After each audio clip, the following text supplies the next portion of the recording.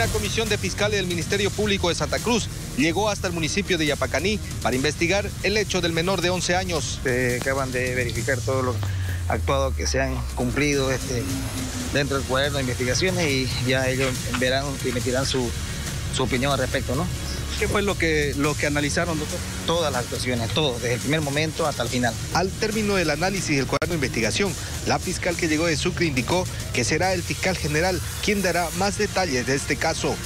Se va a realizar el informe correspondiente, ¿no? Todo por instrucciones del fiscal general. ¿Qué indicó el fiscal de Yapacaní?